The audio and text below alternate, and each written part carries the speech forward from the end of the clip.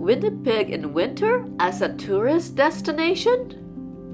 Winnipeg is known for its harsh winters with temperatures dropping well below freezing and heavy snowfalls.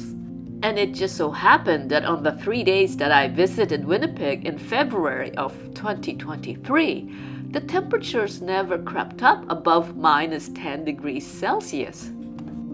But aside from that, Winnipeg has winter festivals and attractions worth visiting in winter. During my three days in Winnipeg, I saw my first polar bears. I stepped on the icy Assiniboine River. I ate a maple syrup taffy rolled on snow at the Festival du Voyageur. I was humbled by the exhibits at the Canadian Museum for Human Rights.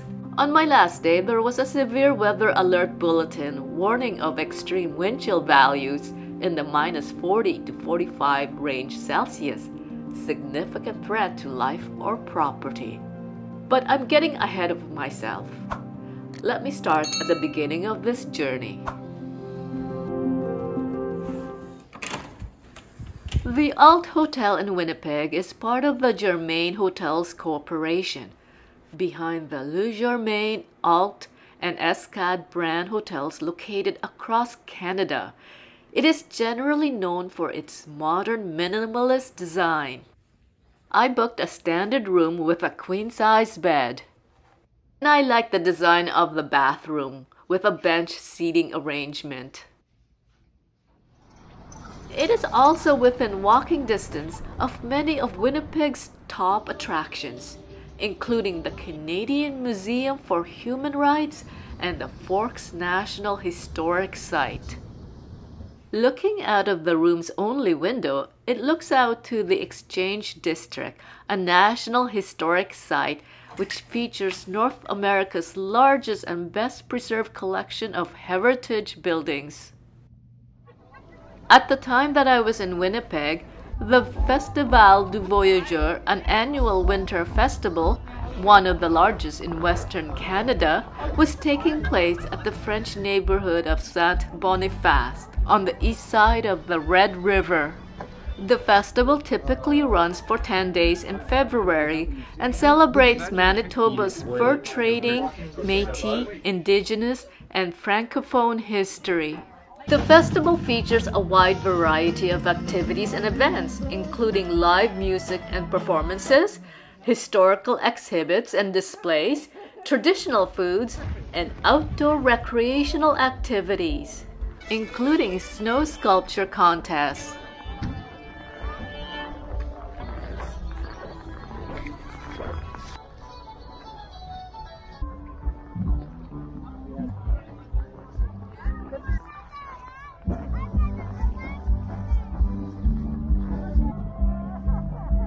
One of the main attractions of the festival is Fort Gibraltar, a reconstructed trading post from the early 19th century located in what is now Winnipeg. It serves as the centerpiece of the festival. It offers visitors a glimpse into life during the fur trade era. The reconstructed fort includes a blacksmith shop,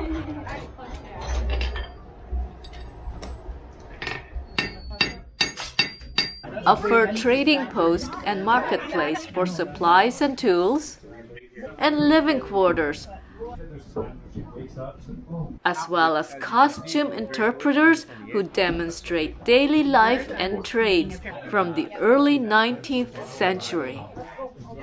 Okay. So we have our dried bison meat here that that uh, I don't know when it's dried, but it's uh, dried earlier, and then we grind it down into a very fine powder. Um, it's not fully powder because it's meat, obviously, so it's still got that weird tactile uh, feel. Uh, but then you add bison fat to it, and that meat and fat combined will solidify, and then we have like a bar or, or just like a little a piece of pemmican we can take with us on our trips, uh, on our, our uh, portage, our travels, portages. I can, I can never remember the anglicized version of it. Yeah. Anyway, uh, and then uh, we take it with us, and we not. It's not that we really enjoy eating it, but it definitely gives us enough energy and strength to continue uh, on our lunches. Well, then I think it needs a commemorative photo. There you go. What's that? we made little hand pies in the oven, in the bake oven today. Look Oh, at this lovely pan. This one is the picture perfect. Almost. We'll just re-flatten that one the way it should be. how does it taste? Um, we don't know yet. We'll find out in a few minutes. it's venison and blueberry and maple uh, maple sugar as a filling, so it'll be a little bit sweet, but it has meat in it, and uh, I think they turned out really well. I, well, They're super cute. I know they do. Venison it has that gamey t- mm-hmm. taste to it, but yeah. Oh, your breads are good. Yeah, they're not quite there yet. Was that?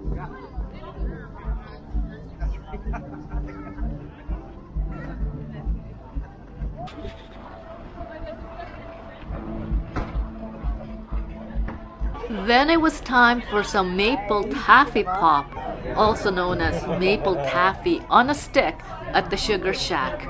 A traditional Canadian treat made from maple syrup. There you go. Hot maple syrup is poured onto clean snow and then rolled onto a popsicle stick as it cools and solidifies. The result is a sweet and sticky candy like treat that is popular at winter festivals and sugar shacks in Canada.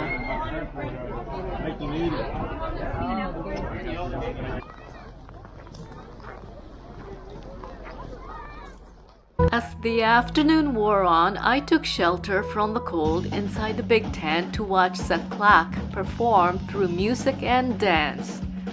Composed of Franco-Manitoban and Métis artists, Ça Claque engaged the audience with their toe-tapping high-energy performance.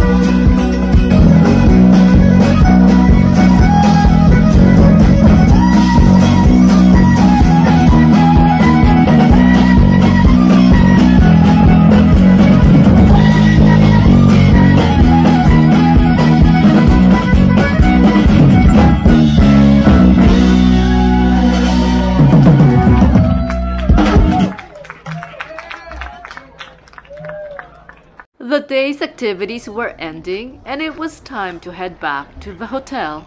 As the sun set, I walked towards the Provencher Bridge, which spans the Red River. It links the downtown neighborhood and the Saint Boniface neighborhood. Beside the Provencher Bridge is the pedestrian bridge known as the Esplanade Riel, named for Louis Riel, the Canadian politician and founder of the province of Manitoba and a political leader of the Métis people.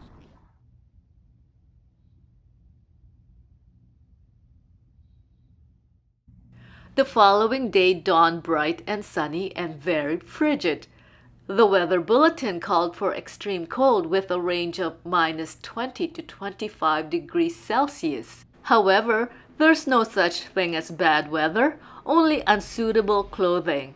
So dress for winter. So the sun is shining, but it's quite frigid. And I'm here at the Assiniboine Zoo. I'm going to check out the uh, Journey to Churchill exhibit. Thank goodness there isn't any wind, but it is frigid. Churchill is a small town located on the west coast of Hudson Bay in Manitoba. It is known as the polar bear capital of the world due to the high number of polar bears that migrate through the area every fall. It is also a popular destination for viewing the northern lights and for beluga whale watching in the summer. There's a helicopter here. This is to mimic Churchill, this area here. So Churchill would have been would be using helicopters uh, to for for transport. Um, there's a boat. There's a kayak that's under. There's ATV. So this mimics Churchill, Manitoba is like where one can visit polar bears in the wild. And who knows, maybe even see the aurora borealis, the northern lights. Now that is on the bucket list. The exhibit offers visitors an immersive experience into the Arctic environment. It has an outdoor habitat that stimulates the tundra environment and allows us to observe animals in a more natural setting. This interaction was filmed by another visitor, Linda, just ahead of me.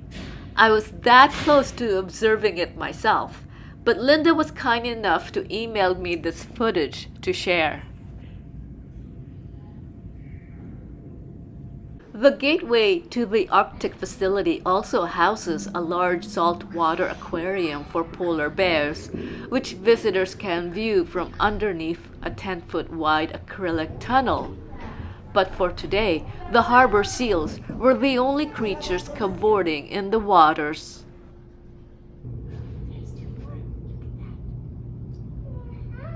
Polar bears are equipped for survival on Arctic ice. Once I went back outside on the trail, I then came upon the polar bears out in their compound. This was my first sighting of polar bears in person. It was very exciting. Maybe one day I'll go to the town of Churchill and actually see polar bears out in the wild. I headed towards the Tundra Grill restaurant to seek warmth. What I didn't expect was a great viewing opportunity of the polar bears outside.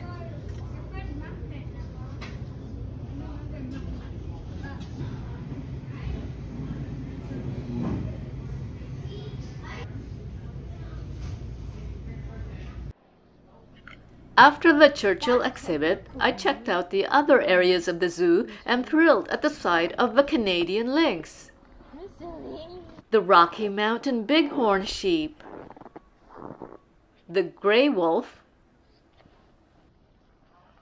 and the bison, among other animals. So I'm just finishing my tour of the zoo. It's been mostly outdoors, but it's been so great. The weather has cooperated. It's been very sunny. It's frigid, but because there's no wind, it made it quite bearable. In the afternoon, I made my way to the Forks National Historic Site. The site is located at the junction of the Red and Assiniboine rivers in the heart of downtown Winnipeg.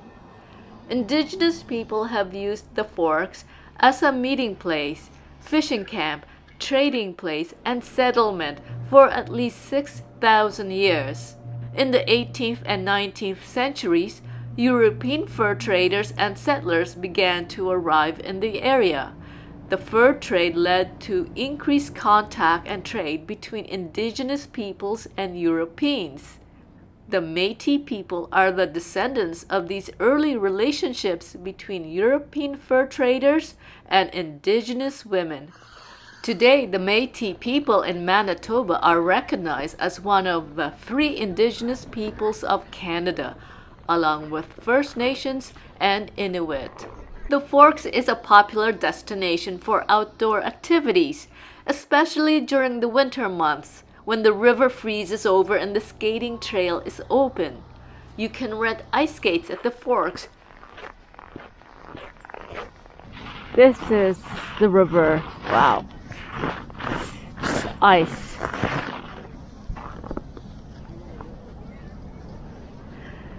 Inside the Forks Market building, there are shops and restaurants.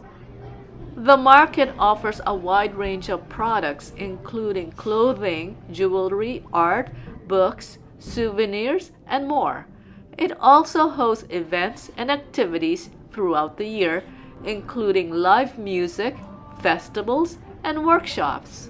In winter, you can go down to skate at the Forks and then have a hot beverage and meal to warm up afterwards at the market. Near the Forks is Union Station. The station serves as a stop for Via Rail's cross-country train, the Canadian, which travels from Toronto to Vancouver. It is a significant landmark in Winnipeg's architectural heritage and has been designated a National Historic Site of Canada. The building's grand entrance hall, high ceilings, and ornate columns are notable examples of Beaux-Arts architecture, and the station's historic importance to transportation in Canada makes it an important part of the country's history as well.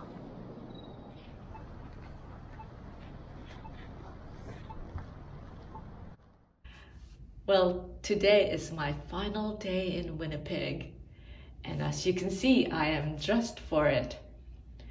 The weather forecast is calling for minus 30 with a wind chill.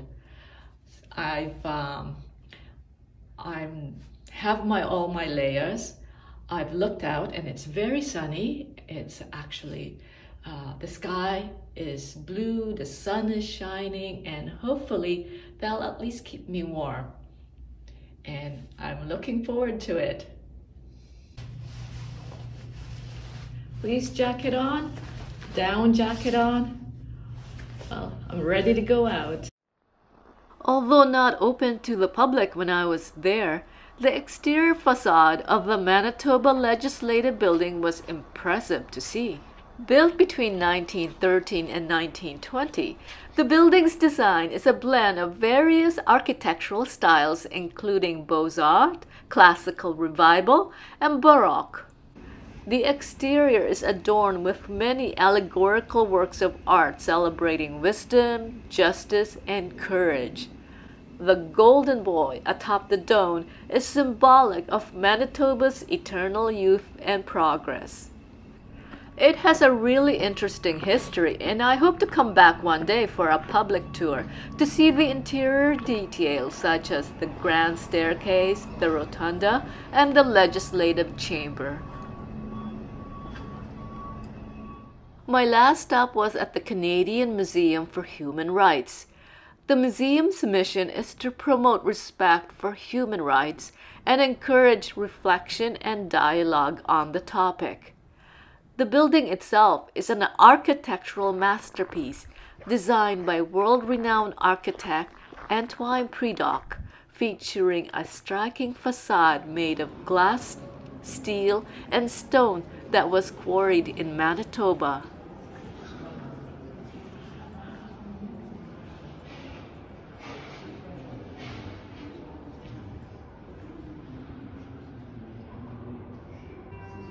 The museum is known for its powerful storytelling, interactive displays, and immersive experiences that engage visitors and encourage reflection. It focuses on presenting concepts and ideas related to human rights, rather than just displaying artifacts or objects. While the museum does have some artifacts on display, such as clothing and documents related to human rights struggles, the focus is primarily on using exhibits, multimedia presentations, and interactive displays to engage visitors with ideas and concepts related to human rights. The exhibits cover a wide range of topics, including the Holocaust, the struggle for indigenous rights, the history of racism and discrimination, the fight for LGBTQ2 rights, the legacy of colonialism, slavery, and segregation, and the ongoing global refugee crisis.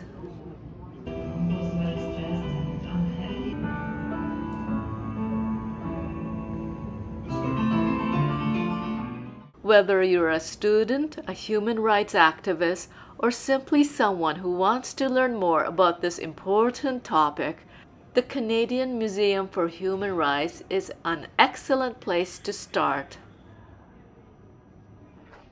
Even in the depths of winter, my short time in Winnipeg was a memorable, unique experience. Thank you for watching. If you enjoy this video and would like to see more like it, tap on the subscribe button and the bell to be notified of the next one. Have a great day.